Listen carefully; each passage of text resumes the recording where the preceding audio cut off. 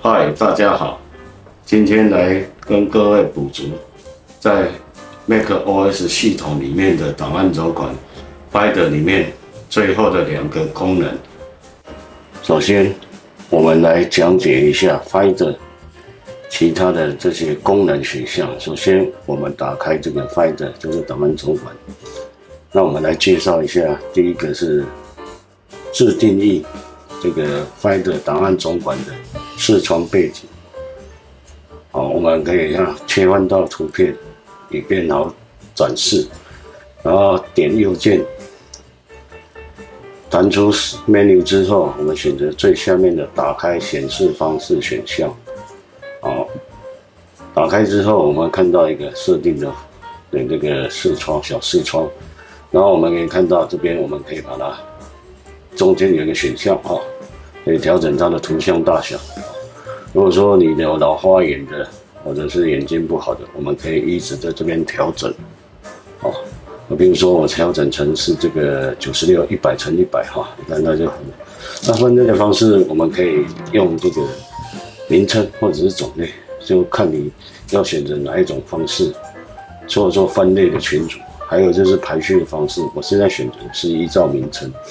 那当然，图片大小之外，图形大小之外，我们还可以看选择这个间距，调整它的间距的大小。那再来就是文字的大小，调整成十六，好，最大只有到十六。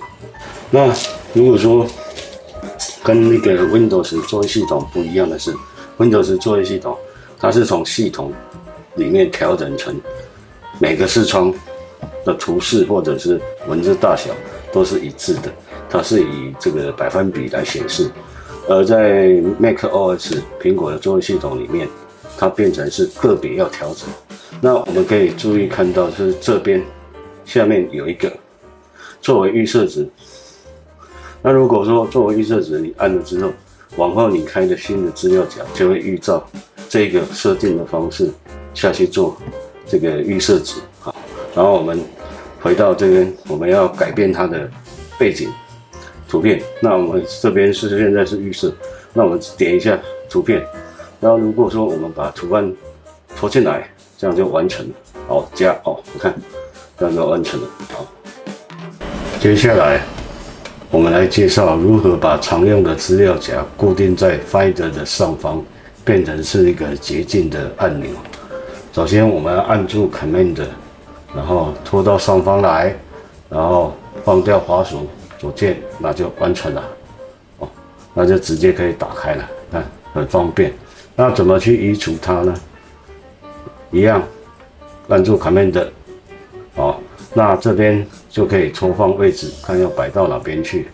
啊，比如说摆到这边来，或者说我直接把它拉到上方，好，放掉移除，好，这样就完成了。好。今天就说到这边，谢谢各位，记得订阅哦。